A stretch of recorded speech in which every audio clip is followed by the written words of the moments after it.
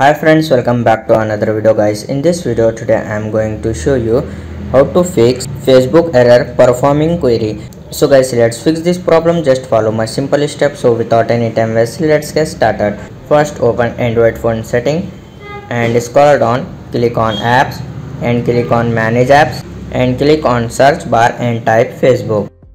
Okay guys Facebook app is showing just click to open app info click on force stop click ok click on clear cache click ok. Click on clear all data. Click ok. Click on app permission. Make sure all permission is allowed like this. And go back.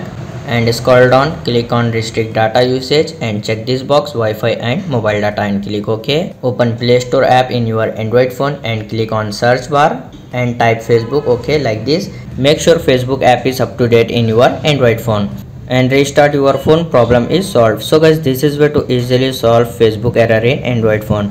Thanks for watching my video. Please don't forget to like share and subscribe my channel and press bell all notifications. See next video